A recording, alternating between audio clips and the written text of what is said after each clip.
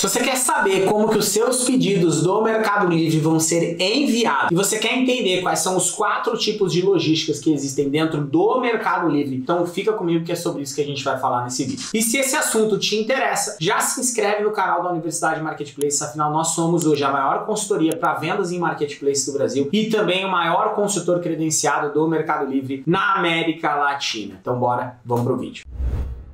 Hoje o Mercado Livre possui quatro modais logísticos próprios, né? Então que envolvem a sua própria logística. O Mercado Envios 2 surgiu justamente para que a gente deixasse de contratar o nosso próprio frete quando a gente fala de Mercado Livre. Lá atrás, a gente calculava o nosso próprio frete, tinha que ficar respondendo pergunta e tinha que gerar os nossos próprios fretes, contrato com correio e tudo mais. Isso há bastante tempo já não é mais assim, só que o Mercado Livre vem evoluindo e hoje possui cinco no total, tô falando de quatro porque são os mais interessantes, mas possui cinco modelos logísticos dentro do próprio Mercado Livre. O primeiro modelo logístico é o modelo que eles chamam de dropshipping. É um modelo 100% correio. Pode ser utilizado por qualquer vendedor da plataforma, inclusive pelos vendedores de pessoa física. Quando a sua venda acontece, o Mercado Livre fornece para você uma etiqueta para ser colado no seu pacote. Então você cola, vai em qualquer agência de correio da sua cidade e posta sem precisar de contrato, sem precisar de nada. Esse modelo ele surgiu para justamente suprir a necessidade de que para que os vendedores vendessem bem, eles precisassem ter uma boa tabela de frete negociada com os correios. Então hoje a gente utiliza a tabela de frete do Mercado Livre. Além disso, todos os modais logísticos do Mercado Envios 2 eles são rastreáveis pelo Mercado Livre. Então ele sabe exatamente quando a gente postou,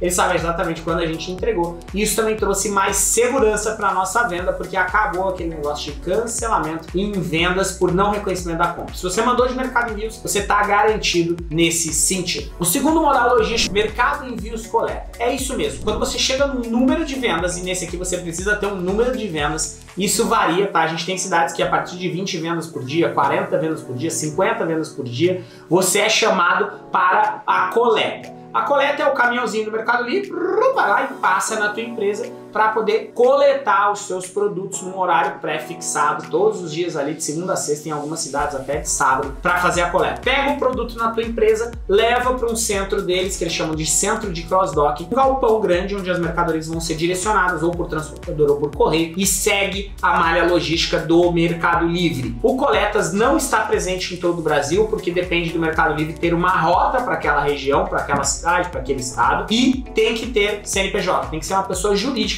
para utilizar o serviço do coleta, porque o teu produto vai ter que ter nota fiscal emitida para poder seguir com o mercado coleta. O Mercado Livre criou o coleta e aí ele criou um terceiro modelo que se chama Places internamente, que é o ponto de envio. Você concorda comigo que coletar em cada uma das empresas você tem um limite de tempo que aquele entregador consegue passar para fazer a coleta, para colocar no caminhão e para levar? Então isso torna o serviço de coletas um serviço caro, por isso que tem um mínimo de vendas. Para poder poder democratizar isso e para poder fazer com que mais vendedores estivessem também na Melinet, que eles chamam, que é a malha logística do Mercado Livre, indo para o centro de cross-docking, possibilitando uma entrega no dia seguinte, possibilitando uma entrega rápida, essa gestão né, por transportador ou por correio, de acordo com o que for mais interessante também para o comprador receber. Então, isso daí eles criaram o ponto de envio. Em parceria com a Cangu, hoje eles credenciam os pontos de envio, que são estabelecimentos normais, tá? Lavanderias, mecânicas,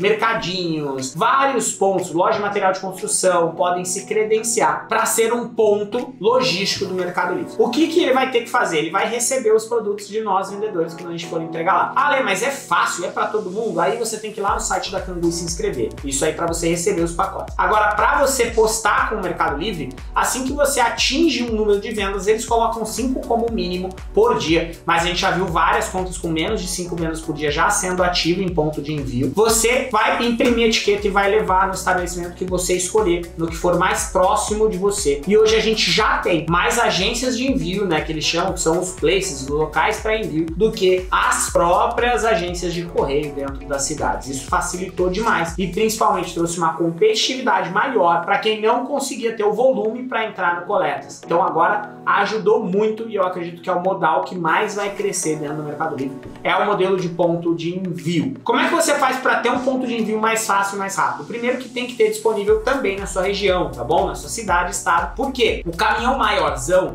o centro que faz a, a triagem do cross-dock, né, do coleta, também é o mesmo centro, o mesmo galpão que tria os pontos de envio. Então, um caminhãozinho passa, coleta em todos os pontos de envio e leva para esse galpão. Então tem que ter essa estrutura logística do Mercado Livre já, beleza? Senão não adianta. Como é que você faz para saber? Primeiro, se tiver alguém que você conheça que venda no Mercado Livre na tua cidade, cara, pergunta. Se você for nosso aluno da Alta Performance, né, tem um grupo lá com vários empresários do Brasil inteiro, coloca lá no grupo que alguém vai te falar se está no coleta ou está no ponto de envio. Se tiver ou alguém no coleta ou no ponto de envio na tua cidade é porque tem. Então você consegue chegar lá. Deixe sua conta com o CNPJ, é obrigatório agora, tá? Não era assim e hoje é obrigatório o uso de nota fiscal nos seus produtos para enviar no ponto de envio também. Então isso daí é mais um fator de super e de extrema importância para você ficar atento. Então já deixa tua conta como CNPJ, configura o teu faturador. Você não precisa usar o faturador, tá bom? Mas já deixa configurado o faturador, porque isso a gente sentiu que faz você ser chamado mais rápido. Mas o Mercado Livre que seleciona. Você pode entrar no chat e pedir também, às vezes dá certo. Vai lá em contato, fale conosco. Isso também funciona em alguns momentos. O quarto modal logístico agora é o Flex. Mercado Envios Flex. Com a necessidade do comprador receber cada vez mais rápido, o Mercado Livre está testando entregas no mesmo dia. Então a entrega Flex, que é o próprio vendedor contratando um motoboy, um entregador, ou fazendo a sua própria entrega, o Flex só está disponível em São Paulo e Grande São Paulo. Quando a gente olha para esse cenário de São Paulo, Grande São Paulo, você pode, depois que é ativo pelo Mercado Livre, porque tem CEPs lá, tem CEPs que não pode, tem áreas que eles colocaram como área de risco e você não pode ativar. O seu histórico como vendedor, se você é um cara que gera muita reclamação, gera muito atraso, como é que ele vai confiar liberar a tua conta para fazer entrega no mesmo dia? Então a gente volta lá nos fatores de indexação, de relevância que você tem que controlar da reputação muito bem, mais uma vez para você não esquecer. Então uma vez que está liberado, você determina um horário de corte. Então, cara, todo pedido até meio-dia eu vou entregar no mesmo dia, até às 11h59 você tem que entregar esse pedido ali dentro, ou com um transportador. Se você não conhece transportador, eu vou deixar aqui embaixo o contato da MindLog, que atende aí em São Paulo de uma forma muito boa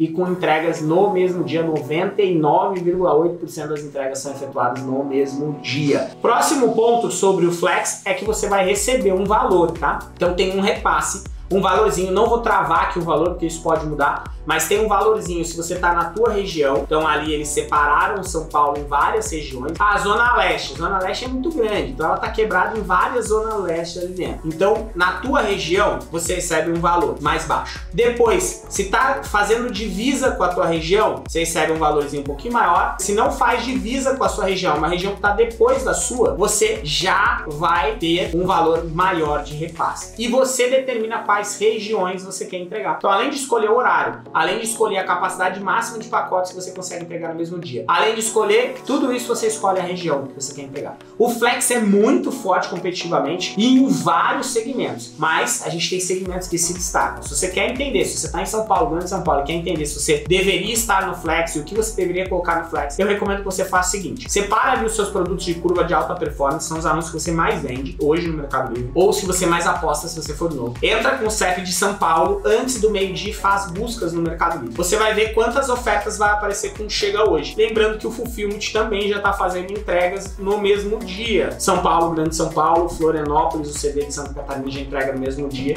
E a gente já tem também outras entregas ali de Lauro de Freitas também acontecendo no mesmo dia para algumas cidades ali na Bahia. E o quinto modal logístico e o mais importante de todos do universo é o Fulfillment, que hoje está presente em São Paulo, Santa Catarina, Minas Gerais e Bahia, onde o Mercado Livre recebe os seus produtos, armazena e quando a venda acontece, eles pedem seus produtos de lá diretamente.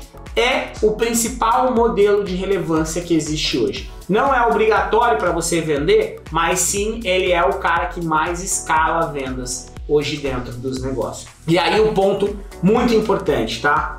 Prestem atenção no Fulfillment porque ele é o grande diferencial do Mercado Livre. Certo? Então, esses são os modais logísticos do Mercado Livre. O Meli tem a melhor logística hoje de todos os canais de venda, a mais rápida e principalmente é muito fácil para você estar dentro delas e é muito fácil para você poder fazer as suas vendas pela internet. Se você gostou, lembra de dar o joinha aqui, de dar o like se você quer entender como que a Universidade Marketplace, a maior consultoria de marketplace e a maior consultoria de mercado livre da América Latina, pode ajudar o seu negócio a vender mais. Aqui embaixo tem um link para você falar direto com o nosso time e a gente entender como a gente pode te ajudar, independente do seu momento de negócio, começando ou muito avançado. A gente tem clientes de 0 a 25 milhões de faturamento mês. Hoje a gente faz gestão aqui dentro da consultoria em mais de 100 milhões de reais de faturamento por mês só no Mercado Livre. Então vamos embora, grande abraço, bora acelerar e vamos vender.